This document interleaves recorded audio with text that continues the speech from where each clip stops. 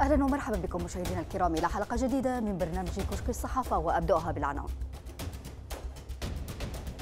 قراصنة يهاجمون ناقلة نفط قبلة السواحل اليمنية.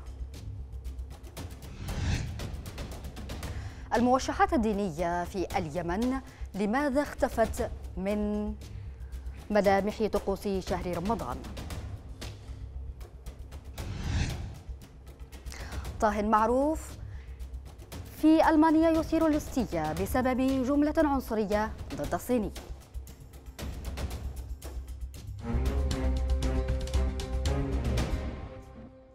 أهلا بكم. بعد انتشار وباء كورونا ووصوله لليمن عبر الحالات المعلن عنها وغير المعلن عنها أيضا يقول موقع المصدر أونلاين إن الاتحاد الأوروبي أعلن عن اعتماد مبلغ 55 مليون يورو لمساعدة اليمن لمواجهة أزمة كورونا. وفي بلاغ نشرته بعثة الاتحاد الأوروبي في اليمن فإن هذا المبلغ هو جزء من 15 مليار يورو حشدها الاتحاد من أجل استجابة أوروبية قوية على مستوى العالم لمواجهة الوباء.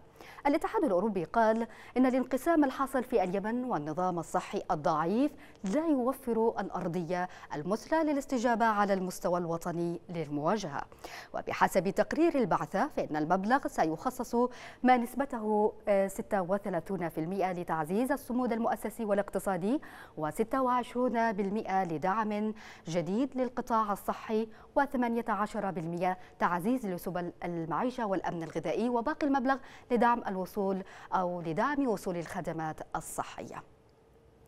تجاوز عدد الوفيات في العاصمة المؤقتة عدن أكثر من 400 حالة خلال عشرة أيام فقط يقول موقع سبتمبر نت التابع للجيش الوطني ويضيف إحصاءات رسمية أرجعت أسباب الوفاة إلى وباء كورونا والحميات المنتشرة في المدينة منذ بضعة أسابيع.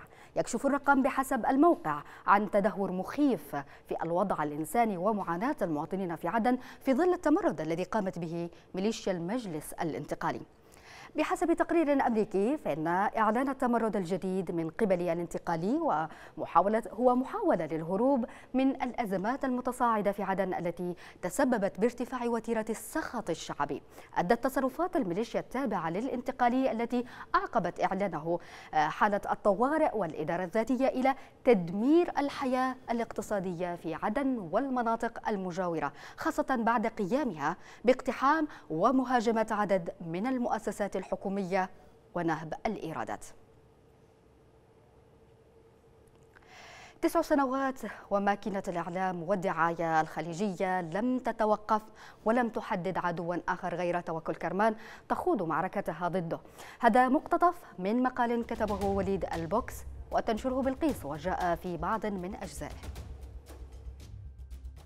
قصة اختيار توكل كرمان من قبل فيسبوك ذكرتنا بحالة الارتباك السعودي الذي حدث عندما أعلنت اللجنة النرويجية لجائزة نوبل حصولها على الجائزة في أكتوبر تشرين من العام 2011 تسع سنوات وماكينة الإعلام والدعاية الخليجية لم تتوقف ولم تحدد عدوا آخر غير كرمان تخوض معركتها ضده. استمروا بمهاجمتها لاحقا حتى وصل الأمر إلى تحشيد أشخاص وذباب إلكتروني وأفاع عملهم الوحيد شتمها. وفي أفضل الأحوال المطالبة من خلال عرائض جمع التوقيعات بسحب الجائزة. أقول بعد كل هذه السنوات هل ننتظر مصادرة الجائزة مثلا أم الإطاحة بها من مجلس فيسبوك؟ دعونا نختر واحدة إذا أعرف أن وقتكم نفد واللعبة أفلتت من قبضة المخرج السعودي وبات تخبطكم من تلقي الصفعات هو الواضح. ازدحمت أجندة النيل منها لكن فاضت المناصب العالية على قوائم الأحقاد والضغائن. فقيرة هي البلدان التي لم تنجب روادا ولم تصنع لمستقبلها نماذج وهذه بالمختصر حكايتنا في اليمن مع الجيران ليست من اليوم وإنما قديمة. اغتيال حلمنا الأول الرئيس إبراهيم الحمدي في عز لحظة الميلاد التاريخية على أيدي القراصنة الموجهين من الرياض. كفيل أن يبقي اليمني يقظا لهذه الأفعى على الدوام. ليست المشكلة في اليمن هنا بأنه بلد كبير عريق وثري. المشكلة تكمن بجيرانه الصغار وعندما يكون لك جار صغير ولديه مشاكل كبيرة ومركبة في ماضيه والهوية والتاريخ من الطبيعي أن تظهر هذه العقد في الحاضر والمستقبل. سيظل شبح هذه السيدة يطاردكم حتى نقول ساخرين وكان عليهم في السعودية والإمارات أن يستيقظوا ليلا ليتأكدوا من أن توكل كرمان لم تحرز أي نجاح جديد. فلا الشتم والتجريح سيحل المشكلة ولا التحشيد والتجييش للنيل منها أيضا سينجح في كبح طموحها. الأفضل ترك المرأة وشأنها في عهدة التفوق دائما ترتفع عاليا وتسقطون. قام التحالف بمنع الصيادين اليمنيين من الصيد في السواحل اليمنية لكنها لم تستطع منع القراصنة من الإبحار هناك وتهديد السفن التجارية. كان آخر هذه العمليات المستمرة للقراصنة بحسب الموقع بوست الهجوم على ناقلة تجارية بريطانية في خليج عدن. المتحدث باسم قوة خفر السواحل اليمنية العميد ناصر العولقي قال إن الهجوم أسفر عن أضرار وثقوب في جسم الناقلة قبل أن ترد حراسة السفينة وتفجر أحد الزورقين المهاجمين. شركة ستولت آبل للناقلات أوضحت أن القراصنة اقتربوا من الناقلة عبر زورقين سريعين على بعد 75 ميلا بحريا قبالة اليمن في أحد أهم طرق تجارة النفط المتجه من الشرق الأوسط إلى أوروبا. وبعد أن وجه فريق الأمن التابع للناقلة عدة طلقات تحذيرية أطلقت الزوارق النار على السفينة قبل أن تغضب حراسة الناقلة. أحد الزوارق المهاجمة. التحالف العربي بدوره اتهم المجلس الانتقالي الجنوبي المدعوم إماراتيا بمنع قوات خفر السواحل اليمنية من أداء مهامها العملياتية. مصدر في التحالف قال إن الانتقالي لم يتجاوب مع قيادة التحالف بشأن استمرار عمل قوات خفر السواحل اليمنية. وسعت ميليشيا الحوثي بحسب ما جاء في موقع عدن الغد وسعت من حجم ممارساتها الابتزازية لتشمل هذه المرة ملاك محطات توليد الطاقة الكهربائية غير الموالين لها. وذلك ضمن حملة ابتزازية وجباية ميدانية استهدفت أكثر من 12 محطة كهربائية خاصة تتبع المنطقتين الأولى والثانية في صنعاء. وبينما أدت الحملة الحوثية إلى إغلاق المحطات بذريعة عدم التزام ملاكها بالتسعيرة المقررة عادت الميليشيا لتسمح بتشغيل عدد منها بعد أن فرضت على الملاك دفع مبالغ ضخمة لمشرفيها. مصادر أشارت إلى أن ثمان محطات أعيد تشغيلها عقب الإغلاق الحوثي لها بيومين بعد دفع مالكيها الجبايات في حين لا تزال أربع محطات مغلقة ولا يزال ملاكها معتقلين.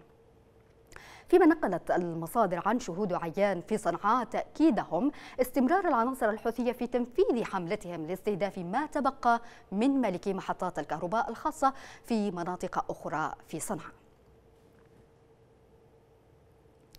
غسان شربل كتب عن مخاوف العالم اليوم وكيف حل الرعب في أرجاء الكون. وأضاف في جزء من المقال. هذا موسم الخوف الكبير على امتداد الخرائط والقارات. لم يسبق أن رأينا العالم منخورا بالرعب على هذا النحو. كان يقلق أحيانا لكنه سرعان ما يستعيد ثقته بنفسه وبالعلم وبالمستقبل.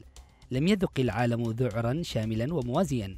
لا في أزمة الصواريخ الكوبية ولا في انهيار الاتحاد السوفيتي لا في حرب فيتنام ولا في الانفجارات الإقليمية ولا في هجمات أيلول وما تبعها. وفي كل الأزمات السابقة كان باستطاعة الفرد أن يراهن على قوى من هذا المعسكر أو ذاك. في موسم الرعب الحالي لا تملك رقما للطمأنينة يمكنك الاتصال به.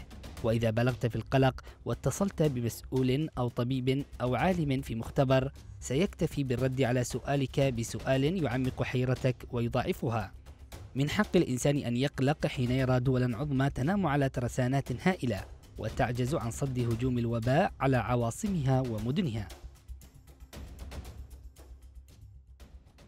الموشح الديني المرافق لعادات اجتماعية متعلقة بطقوس كثيرة تمارس في المجتمع اليمني منها طقوس السمر في ليالي رمضان.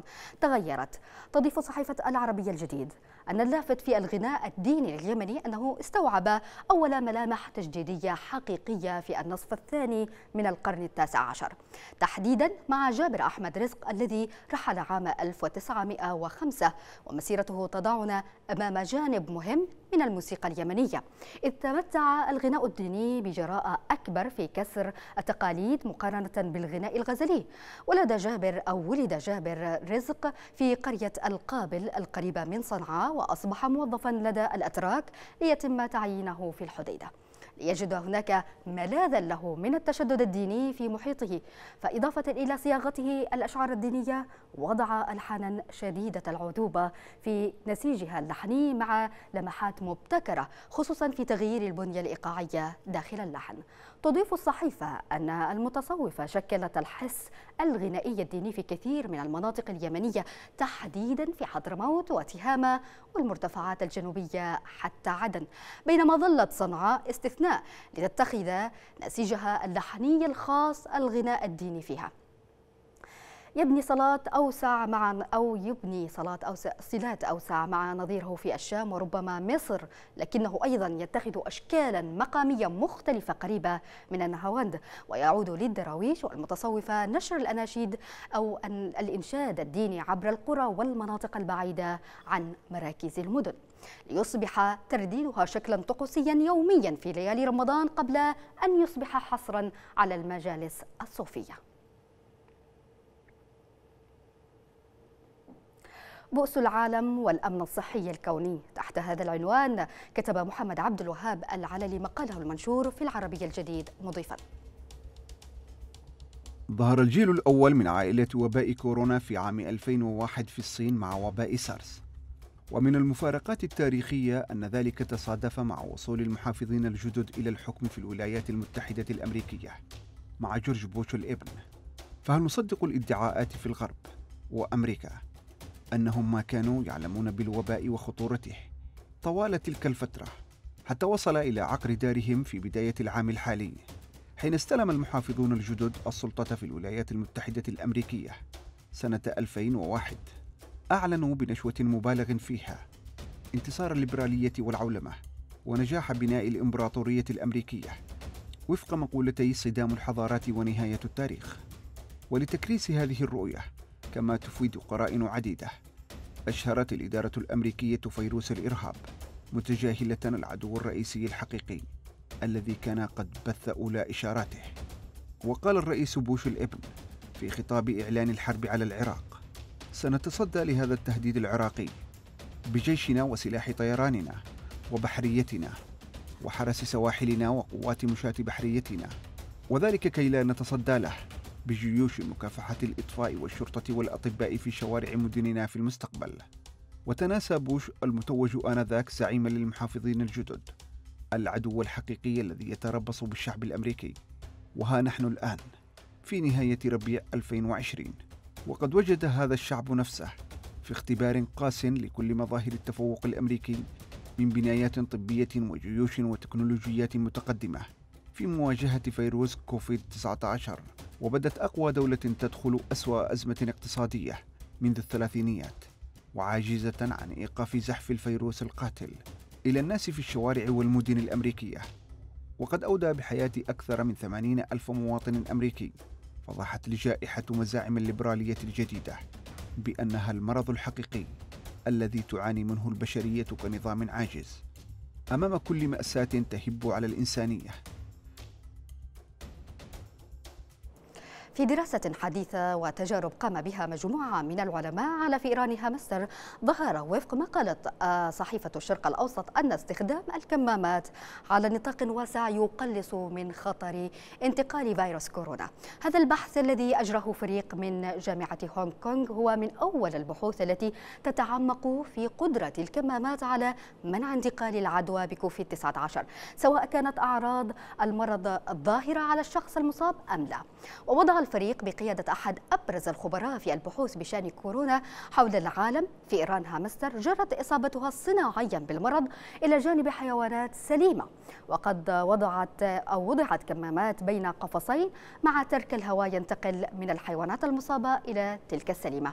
وخلص الباحثون إلى أن خطر انتقال الفيروس من دون احتكاك قد يتقلص بنسبة تزيد عن 60% عند استخدام الكمامات.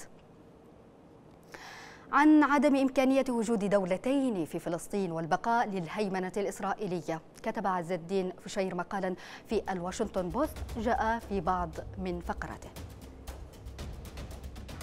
نجح ترامب وكوشنر في دفن حل الدولتين. وفي إلقائنا نحو حل الدولة الواحدة الذي تكون إسرائيل بمقتضاه صاحبة السيادة العملية على المساحة الواقعة بين نهر الأردن والبحر المتوسط. ويعيش في كنفها ملايين من الفلسطينيين. من دون حقوق سياسية أو مدنية مساوية للإسرائيليين عاجزين عن الخروج من المناطق الضيقة المحددة لهم أو استيراد وتصدير البضائع أو فعل أي شيء في حياتهم من دون تصريح من السلطات الإسرائيلية. هذا الوضع له وصف معروف بغض النظر عن المتسبب فيه وهو الأبارتيد. إن إدانة خطة ترامب والدعوة إلى تطبيق حل الدولتين لن تجدي نفعا. فهذا الحل قد مات منذ أكثر من عشر سنوات. واليمين الديني والقومي الذي لم يسمح بتحقيقه في الماضي أصبح الآن أقوى وتزيد من قوته فرصة ضم الأراضي المقدسة التي يحلم بها منذ عقود. وقد فتحت خطة ترامب الباب أمام تيار قوي سيحملنا جميعا إلى مواجهة تحديات الأبارتيد المخيفة. والسؤال المطروح علينا الآن ماذا سنفعل جميعا؟ فلسطينيون وعرب وإسرائيليون وبقية العالم حيال ذلك. من موقع دي دبليو نطالع خبرا مفاده أن أحد الطغاة المعروفين في مدينة دوسلدورف الألمانية أثار موجة استياء واسعة بعد إعلانه أن الصينيين غير مرغوب بهم في مطاعمه ورغم أن الطاهي حاول تعديل موقفه لكن يبدو أن محاولته لم تنجح. مثل غيره من المطاعم في ألمانيا سمح لمطعم أم شيفشن بإعادة فتح أبوابه للزبائن وذلك ضمن إجراءات تخفيف العزل المفروض بسبب تفشي فيروس كورونا. لكن عند الإعلان عن إعادة فتح المطعم أثار صاحبه جدلا واسعا حين كتب على فيسبوك سنبدأ يوم الجمعة لكن الصينيين غير مرغوب بهم. منشور الطهي الفرنسي أثار موجة استياء واسعة على وسائل التواصل الاجتماعي وجاء في أحد ردود الفعل. يجب أن يشعر مطعم المطعم بالعار مما قاله مالكه مثير للإشمئزاز. ردود الفعل على المنشور دفعت الطاهي إلى محاولة تعديل موقفه عبر منشور آخر زاعما بأنه لم يكن يقصد جميع الصينيين بل الدكتاتوريين منهم وجاء في المنشور. يعمل أشخاص من تسع جنسيات مختلفة في مطعمنا وزوجتي أسيوية وأنا أجنبي في هذا البلد. اطمئنوا يمكن أن أتهم أتهم بأشياء كثيرة لكن ليس بالعنصرية بالتأكيد. فتحت بعض مساجد ماليزيا أبوابها لأداء صلاة الجمعة قبل من قبل القائمين عليها فقط بعد إغلاق دام شهرين في إطار تخفيف التدابير المتخذة لمكافحة فيروس كورونا. نشاهد معكم هذه الصور من داخل مساجد ماليزيا والمنشورة في صحيفة القدس العربي.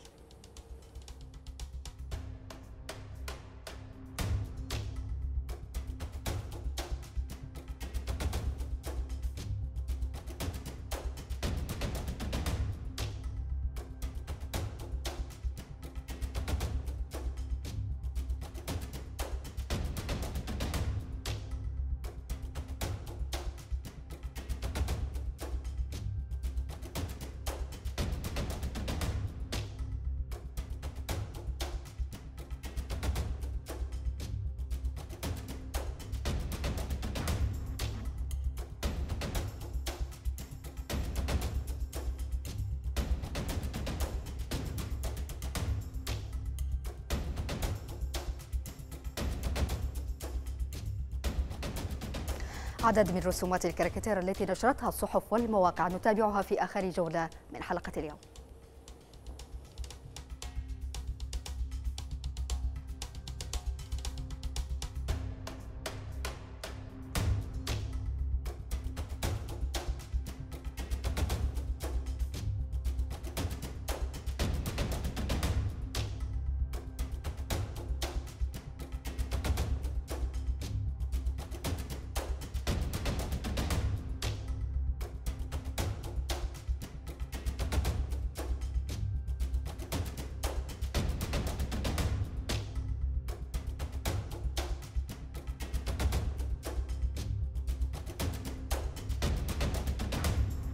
مشاهدينا الكرام بهذا نكون وصلنا إلى نهاية حلقة اليوم. نشكركم على حسن المتابعة. في أمان الله.